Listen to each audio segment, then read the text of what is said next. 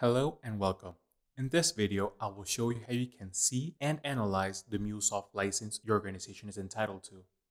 It is very common that executives who sponsor MuleSoft licenses don't often have the visibility that they need to calculate the return of investment accurately. Some of the problems they often face are the lack of visibility of the entitled MuleSoft resources. It is hard to forecast the usage of these resources in the future and minimum visibility to failures and downtime or none at all, making it hard to calculate the business impact. The Datadog Mule integration offers an out of the box dashboard with this kind of visibility. The cost optimization dashboard provides two important views to executives a historical view of applications that have failed, as well as a top failed applications and servers list. This helps to understand the historical downtime and measures how this impacts the business and an easy to understand visual representation of the resources entitled to the MuleSoft license.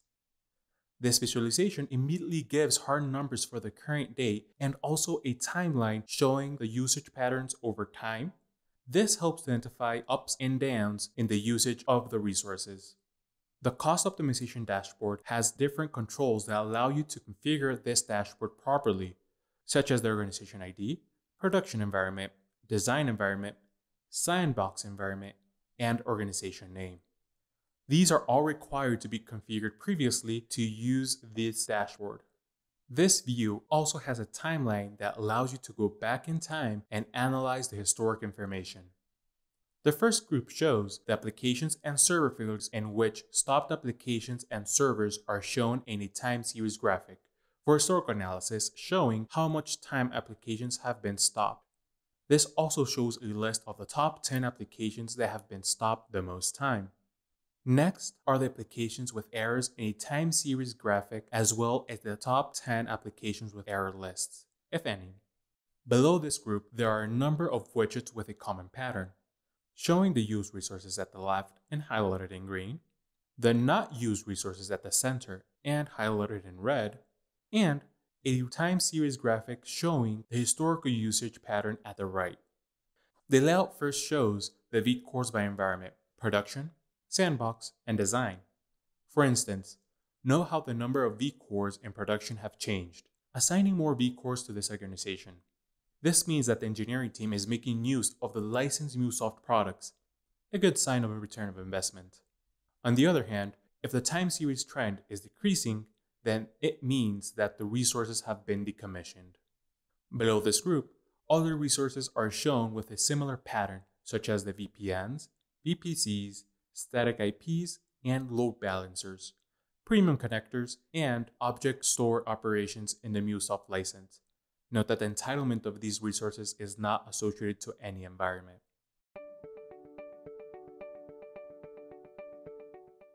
Hello and welcome.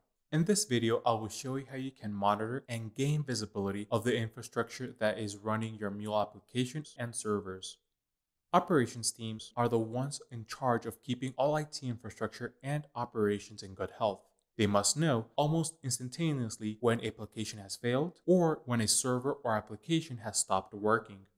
The Datadog Mule integration offers a set of out-of-the-box monitors and a dashboard to help operations teams to quickly gain this kind of visibility in a single source of truth rather than navigating multiple pages. A set of monitors created when the Datadog Mule integration is configured for the first time. These monitors come with pre-configured thresholds and conditions for application stopped, running on premises and in Cloud Hub, high memory and CPU consumption, application errors, overloaded VM queues and Cloud Hub applications, disconnected Mule servers running on premises. These monitors can be configured to send notifications to your team through email, Slack, PagerDuty, and other notification systems. The operations.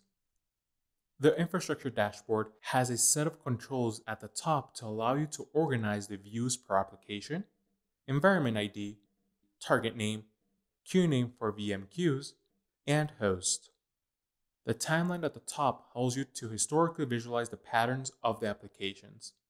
The critical group shows all the applications and servers that have failed or errored.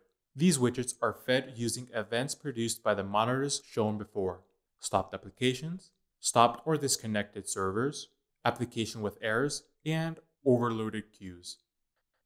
Next is a CloudHub group that shows graphics about the applications running in CloudHub. Using the application and environment ID controls at the top, you can get a granular view to a single instance or environment. If filtering by the environment, the graphics will show aggregated averages of all applications running in such an environment. The metrics shown are consumed memory, CPU usage, network in and out, and messages queued and in flight in the application.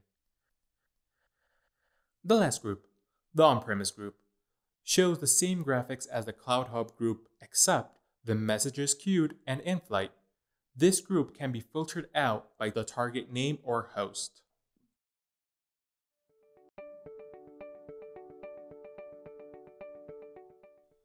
Hello and welcome. In this video, I will show you how you can gain visibility to the available MuleSoft resources in your organization. For operation teams, it is common that they must know how many resources they have available to support more applications regardless of the environment. In the Anypoint platform, there are two concepts with regarding resource allocation. Assigned means purchased or licensed resources that are usable by the current organization. Reassigned means resources allocated to a suborganization. A suborganization is an organization under a parent organization and can be a department, line of business, region, etc. The Datadog Mule integration offers an out-of-the-box dashboard with this kind of visibility. The Resources Allocation and Usage dashboard provides immediate insights about how the resources are allocated in the organization, as well as suborganizations, and how many are still available to be used. This dashboard has controls to specify the organization ID, production environment, sandbox environment, and design environment. These must be properly set prior to usage. The organization vCores group shows the vCores assigned to the parent organization in production, sandbox, and design environments, and shows how many vCores are reassigned to its direct suborganization, if any. For instance, the production environment has X vCores assigned, however, it has not reassigned vCores to any suborganization. The same applies to Sandbox and Design in this dashboard. Below this group, you can find the usage of vCores per environment, production, sandbox, and design. This helps operations to quickly know if there are any available vCores in the organization. The next widget is the vCores reassigned per suborganization. In the Anypoint platform, any suborganization can have suborganizations too. The next group of tables shows the used resources per environment in the current organization these resources are VPNs, VPCs, load balancers, and static IPs.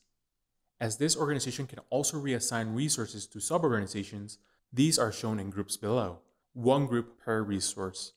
VPNs, VPCs, load balancers, static IPs, and object store.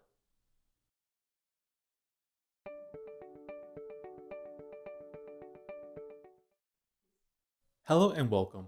In this video, I will show you how you can identify problems and performance bottlenecks in Mule applications. It is common that integration solutions are blamed for poor performance, when in fact, the real bottleneck is one of the downstream systems. It is hard for developers to chase and identify this kind of problem because they occur under very specific environments, contexts, and situations. The development. Optimization dashboard offers a single source of truth for developers, allowing them to query for specific conditions in a given period of time. This has set controls at the top to allow you to organize the views per application, environment ID, target name, and host. The CloudHub group shows graphics about the applications running in CloudHub. Using the application and environment ID controls at the top, you can get a granular view in a single instance or environment. If filtering by the environment, the graphics will show aggregated averages of all applications running in such an environment. The metrics shown are memory consumed, CPU usage, network in and out, and messages queued and in flight in the application. For instance, the operations team has complained about a performance problem at a specific point in time. Using the timeline, you can specify a time range looking for abnormalities or spikes. And you can even drill down to a specific time range by selecting the range in the graphics. This will synchronize all graphics in the dashboard to this time range.